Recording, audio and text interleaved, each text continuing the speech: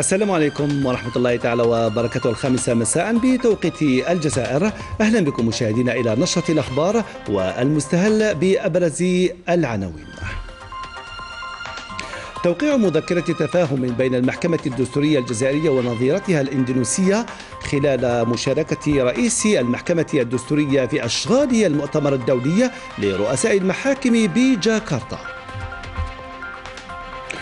حفاظا على القدرة الشرائية للمواطن فرق الرقابة وقمع خرجاتها الميدانية لمراقبة أسعار البقوليات واسعة الاستهلاك وردع المضاربين بقوت الجزائريين والعين في النشرة من ولاية ورقلا وقصد تمضية عطلة صيفية تعليمية هادفة المدرسة القرآنية بالمسجد القطب عبد الحميد بن باديس بوهران يستقطب الناشئة لحفظ القرآن الكريم وعلومه.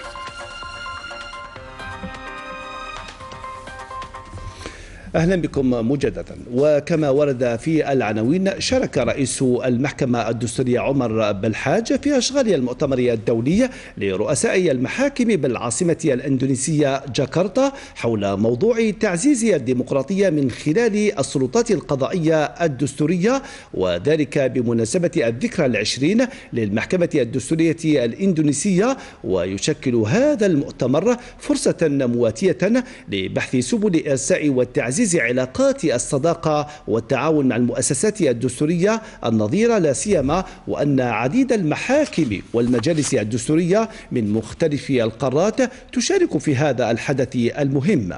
وفي إطار مشاركته في أشغال المؤتمر وقع رئيس المحكمة الدستورية عمر بالحاج مذكرة تفاهم بين المحكمة الدستورية الجزائرية ونظيرتها الإندونيسية من أجل خلق إطار للتعاون وتبادل الخبرات في مجال القانون الدستوري والعدالة الدستورية. باسم المحكمة الدستورية الجزائرية حضرنا آه، بدعوة من السيد أنور عثمان رئيس المحكمة الدستورية الأندونيسية إلى هذا المؤتمر الذي آه، هو يعد ويحضر للذكرى الذكرى العشرين لتأسيس المحكمة الدستورية الأندونيسية. في النشاط العسكري أشرف السيد اللواء محفوظ بن مداح قائد القوات البحرية أمسية بالرصيف الشمالي للأميرالية القاعدة البحرية الجزائر بالناحية العسكرية الأولى على تفتيش المفرزة البحرية المتكونة من السفينة المدرسة الصمام والسفينة الشراعية المدرسة الملاح بعد قيامها بالحملة التدريبية صيف 2023 خلال الفترة الممتدة من السابع السابع جويليا إلى العاشر أوت الجارية. وتعد هذه الحملة التدريبية مرحلة هامة في المسار التكويني لطلبة الضباط العاملين في السنة الأولى والثانية من التكوين الأساسي بالمدرسة العليا البحرية بتمن تفوست بالناحية العسكرية الأولى حيث ساهمت في توسيع آفاق معارفهم النظرية واختبار إمكانياتهم في التأقلم مع الظروف الملاحية الحقيقية والتحكم في مختلف أنواع الأسلحة والمعدات الموجودة على المتن كما تعرفوا على أقسام السفن وطبيعة الحياة على المتن.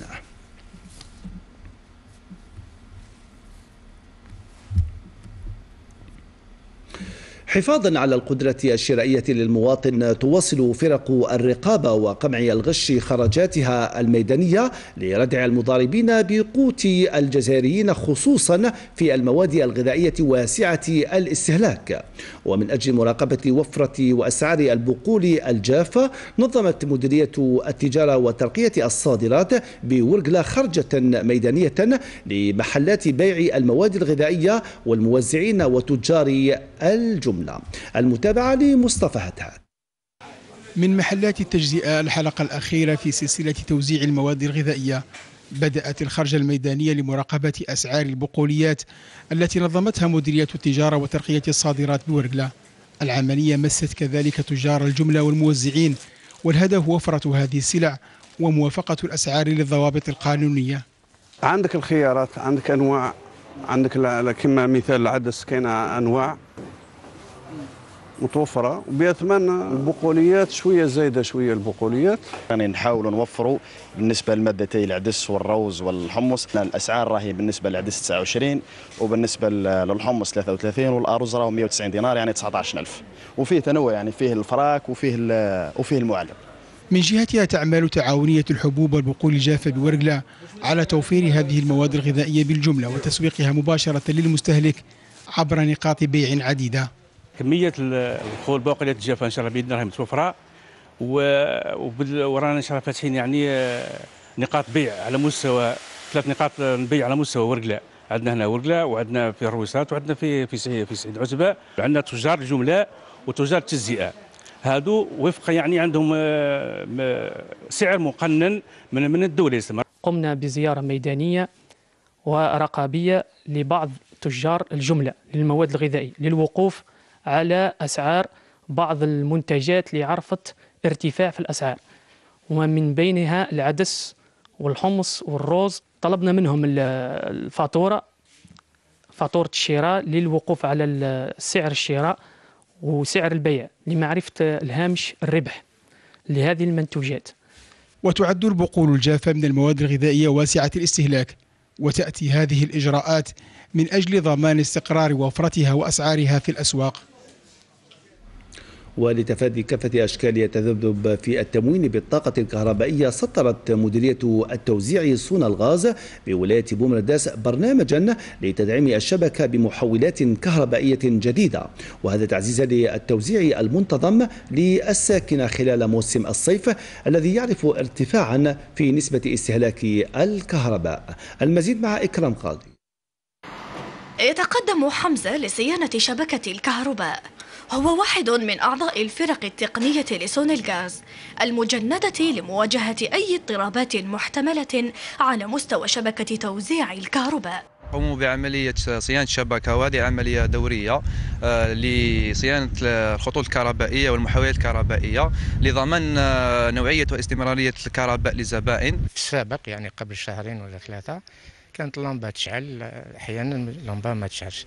يعني كان التذبذب كبير وبعد ال poste الجديد هذا اللي دارته سونلغاز تيار يعني متواصل قوي ما شاء الله يعني. قبل كانت ضعيفة شوية كانت تكوبا شوية. mais دوك ملي داروا لنا le poste هذا ولات très bien ولات مليحه ما تكوباش malgré tout تكون les charges زعما في الدار تاع ال climatiseur et mais normal ça marche ما تكوبا ما والو. 22 محولا كهربائيا جديدا تدعمت به ولاية بومرداس والأشغال متواصلة لإضافة محولين كهربائيين آخرين لفائدة الولاية. الأشغال متواصلة في على مستوى محولين كهربائيين التي تمس منطقتين بلدية الحمادي بلدية حمادي وبلدية تورقة. وثانيا مواصلة استغلال مركز التحويل الرئيسي 60 30 كيلو فولت خميس الخشنة حيث تم وضع حجز الخدمة. منطلقين كهربائيين منطلق 30 كيلو فولت آه، تمس منطقة شباشب ومنطلق 30 كيلو فولت 250 مسكن. كلها إجراءات لتحسين نوعية التموين بالطاقة الكهربائية وضمانا لاستمراريتها ترشيد الاستهلاك ضرورة حتمية. ولضمان أمن صحي وسعت عدة شركات استثمارية في مجال إنتاج الصناعة الصيدلانية من نشاطاتها. شركة بروديرما للصناعات شبه الصيدلانية وبعد الاستفادة من المرافقة والمتابعة طورت من إنتاجها مما سمح باستحداث عدة مناصب شغل لشباب ولاية سيدي بالعباس الروبورتاج لعبد الوهاب أي تفتيس. الاعتماد على الكفاءة الشبانية من خريجي الجامعات ومراكز التكوين جعل من هذه المؤسسة رائدة في الصناعة شبه الصيدلانية سمحت باستحداث مناصب شغل ليصل عددها إلى 120 عاملا. تكونت الحمد لله وتعلمت هنايا في هذه المؤسسة. وتمكنت أن نسني هنايا العقد تاعي. بديت ك un chef de ligne راني نخدم دروك comme un chef de ligne de remplissage conditionnement خرجت c'est 2022 diplôme comptabilité finance master. والشركة هذه وفرت لي منصب شغل. في المنتوجات تاعنا عندنا 80 في 80 منتوج. وكاع نخدموهم على الشركة تاعنا. حنا نطوروا هذه المنتوجات عبر السنين. عندنا منتوجات وكل منتوج عنده خصوصيات. وعلى مستوى contrôle qualité نديروا المعايير الجزائريه ودولية. حنا عندنا فايت 27 معايير نتبعوها. توسيع الاستثمار وتنويع المنتوج جعل من هذه المؤسسة تنتشر عبر مختلف ولايات الوطن وتتطلع إلى ولوج الأسواق الخارجية خاصة بعد الاستفادة من مرافقة السلطات المحلية. حنايا الحمد لله ما عندناش مشاكل آه، إدارية. الحمد لله راه عطيتنا الدعم الكامل. donc آه، حنايا باش آه، زدنا وسعنا هذه المؤسسة تاعنا حنايا عندنا une diversité de produits عندنا أنواع مختلفة. من المنتوجات. donc حنا دائما نخدموا بجهد باش نديروا des tests et pour développer les formulations باش نوغمونتو في ال niveau. à chaque fois تكون كاين جديد. المستثمرين يحظون ب يعني بالمكانة التي تليق بهم باعتبارهم رأس حرباء نتاع الحياة الاقتصادية والتي نحن يعني ملزمون بتوفير وتسهيل كل الشروط من أجلهم لا سيما أولئك الذين آه، يقومون بخلق الثروة وبإنشاء آه، مناصب الشغل قرارات وإجراءات وضعتها الدولة لصالح المستثمرين من شأنها فتح آفاق لتنويع الاقتصاد الوطني من خلال تحقيق الاكتفاء الذاتي والتقليص من فاتورة الاستيراد. قررت سلطة الضبط السمعي البصري تعليقا مؤقتا لجميع البرامج التي تبثها قناة السلام التلفزيونية ابتداء من تاريخ صدور هذا البيان إلى غاية البث فيها القرار النهائي. ويأتي هذا القرار على خلفية بث أو بث القناة برنامجا يحتوي على لقطات تتنافى والدين الإسلامي وكذا أخلاق المجتمع الجزائري بطريقة غير مهنية وغير مسؤولة. إلى أحوال الطقس الآن حيث يرتقب أن تشهد عدة ولايات بغرب البلاد. بداية من اليوم موجة حر مع تسجيل درجات حرارة قد تصل إلى 45 درجة مئوية. وحسب النشرية الخاصة للديوان الوطني للأرصاد الجوية فإن هذه الموجة تشمل ولايات معسكر وهران. سيدي بالعباس غليزان الشلف مستغانم عين تيموشنت وتلمسان. وقد تصل درجات الحرارة القصوى إلى 45 درجة مئوية تحت الظل. ومع هذا الارتفاع في درجات الحرارة يلجأ الشباب للسباحة في الأماكن الخطرة والممنوعة التي تؤدي إلى الهلاك حيث سجلت مصالح الحماية المدنية 28 حالة غرق خلال أسبوع. ولحماية حياة المواطنين سطرت فرق الحماية المدنية بولاية المدية مخططا وقائيا ما أدى إلى انخفاض في حالات الغرق تقول أسيا غريب المدني نعم لا بس نعم نعم تفضل خويا وش نداء استغاثة من مواطن عبر خط النجدة للحماية المدنية يفيد بتعرض شخص للغرق بسد وادي الصافي بابن سليمان ولاية المدية. مركز التنسيق العملي التابع للوحدة الرئيسية للحماية المدنية يخطر بدوره الوحدة الثانوية لدائرة سواقي باعتبارها أقرب نقطة للتدخل. يحتوي هذا المركز على عدة وسائل بشرية ومادية. هدفها تقديم الخدمة السريعة والفورية في حالة أي تدخلات وفي ظرف وجيز فرقة الغطاسين لدائرة وزرة بالسواقي تتنقل على جناح السرعة إلى عين المكان لمباشرة عملية الإنقاذ. كاين عدد كبير من المسطحات المائية والسدود آه، على مستوى تراب هذه الولاية. هذا أدى إلى وجود آه، عدد كبير من من الضحايا مما أدى إلى تفكير الحماية المدنية في إدراج آه، فرق التدخل على مستوى المستوى المسطحات المائية كفرق الغطس. انخفاض محسوس تسجله ولاية المدية في عدد الغرقى بفضل البرنامج التحسيسي التوعوي. سجلت مديرية الحمايه المدنية لولاية المديه آه، وهذا خاصة في هذا الشأن. آه، عمليات في 28 تدخل تم تم إنقاذ فيها أربعة أشخاص من الخطر فيما تم انتشال خمسة أشخاص في في المسطحات المائية. على المستوى المحلي هناك إجراءات أمنية وقائية أخرى وهي التكفل بالساكنة وبالأطفال بأولادنا بفتح سبع مسابح سخرت لها جميع الوسائل الضرورية لذلك وبرنامج المخطط الأزرق وهي التكفل الأمثل والأحسن بما يفوق 45 ألف مواطن. تم ترحيلهم وفي رحلات إلى شاطئ اسخيرات وكذلك التي بازا وتحصي ولاية المدية. ما يقارب 64 مجمعا مائيا من بينها مسطحات مائية أحواض وسدود. تشجيعا للانخراط في مسار الإنتاج الوطني نظم بولاية عين الدفلة معرض خاص بمنتجات المرأة الريفية والمرأة الماكثة بالبيت للتعريف بمنتجاتها والانخراط في تعزيز آليات الحفاظ على الثروة الغابية والتخفيف من حوادث حرائق الغابات على اعتبارها أن هذه الحوادث تستهدف مصدر رزقها وتهدد ترقية نشاطاتها وتطورها.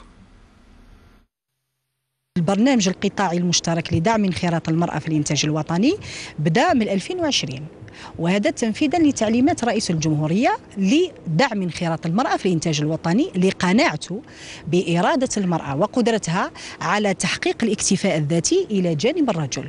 وفي هذا الإطار وانت شفتم عينات اللي راهم يطالبوا أيضا بتوسعة النشاطات والاستفادة من آليات دعم الدولة. وفي هذا الإطار إحنا جبنا العديد من الولايات عين دفلة هي عينة من الولايات اللي عندها يعني ثروات فلاحية. وبالتالي شفت أنه الكثير من النساء منخرطات في هذا المجال وتزامن أيضا أنها المنطقة أيضا فيها غابات وبالتالي على المرأة الريفية المحافظة على هذه الغابات. إلى حوادث الطرقات حيث توفي ستة أشخاص وأصيب تسعة آخرون بجروح في حادث مرور بين سيارة أجرة وشاحنة في حدود الساعة الثانية صباحا على مستوى الطريق الوطني رقم واحد بالمدخل الجنوبي لبلدية عين وسالة بولاية الجلفة. وهذا وقد تدخلت فرق الحماية المدنية حيث تم تقديم الإسعافات الأولية للمصابين قبل نقلهم إلى المستشفى.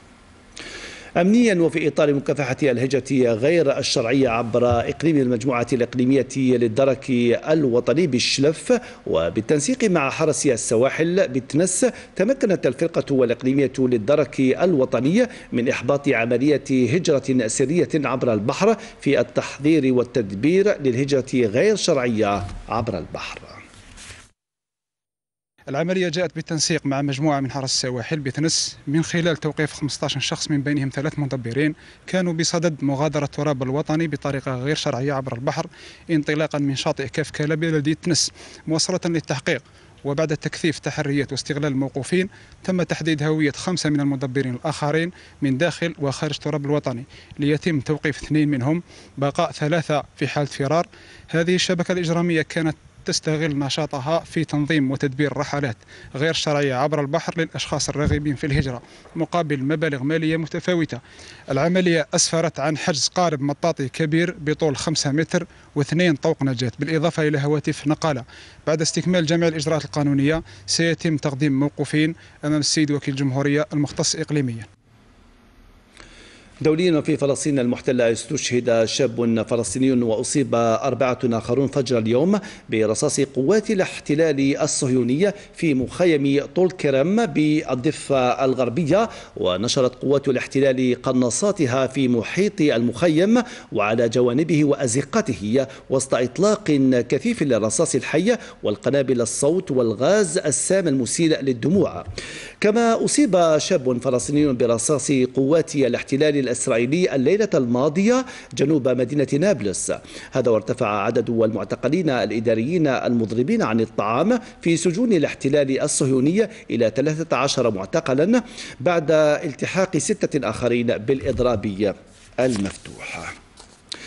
إلى جديد الوضع في النيجر حيث قررت القمة الاستثنائية للمجموعة الاقتصادية لدول غرب إفريقيا إكواس المنعقدة أمس بأبوجا قررت منح الأولوية للقنوات الدبلوماسية بالإبقاء على الخيارات المفتوحة لحل الأزمة في هذا البلد.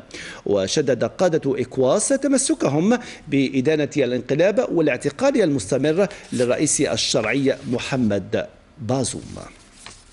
ونختم من ولاية وهران وقصد تمضية عطلة صيفية تعليمية هادفة. يفتح المسجد القطب عبد الحميد بن بديس أبواب المدرسة القرآنية لتعليم الناشئة القرآن الكريم وعلومها برنامج صيفي استقطب الأطفال الصغار وساعد كذلك ذوي الهمم للتعلم والتمدرس عبر برنامج مكثف. المزيد مع سونيا العقون برنامج تعليمي لتحفيظ كتاب الله تشتغل عليه المدرسة القرآنية للوافدين إليها من مختلف الفئات العمرية وحتى فئات ذوي الهمم مع التركيز على أحكام التلاوة والتجويد وتصحيح الأخطاء. يقرأ هنايا وراهم يقروهم وراهم قايمين بهم وراهم يعني محفزينهم للدين والعلم. عندي هذا القسم ذوي الهمم العالية. يعني كانوا شوية ناقصين في النطق. بصح مع القران مع القرآن تحسنوا. هنا بهذه الأقسام لا صوت يعلو إلا بكلام الله بالجامع الرئيسي القطب عبد الحميد ابن باتيس بوهران. أتميز بقراءة القرآن؟ ونحفظ السور الكريمة مثل مثل الحشر والمجادلة إلى آخره. وأحب القرآن كثيرا وأتمنى أن أختمه إن شاء الله. ساعدني بزاف في المواد تاع الحفظ وحل مخي والمواد تاع الفهم ثاني ولات الفهم تدخل بالخف نحفظهم برواية ورش بالأحكام. أنا نلقن لهم الصورة وهم يعاودوا مورايا 400 الآن يزاولون دراستهم في القرآن الكريم تحفيظا أو حفظا وتلاوة وإتقانا.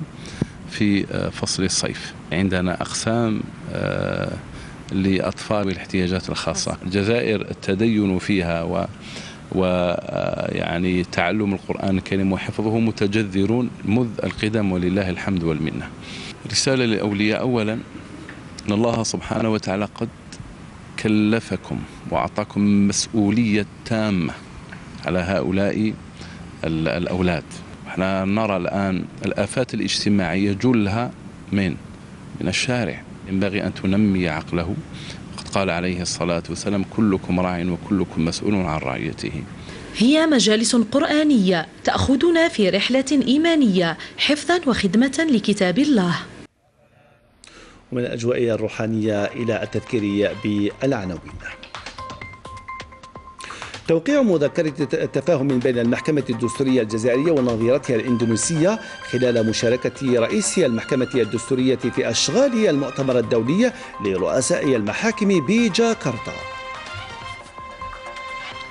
وحفاظا على القدرة الشرائية للمواطن فرق الرقابة وقمع الغش تواصل خرجاتها الميدانية لمراقبة أسعار البقوليات وسعة الاستهلاك وردع المضاربين بقوت الجزائريين والعينة كانت في النشرة من ولاية ورقلة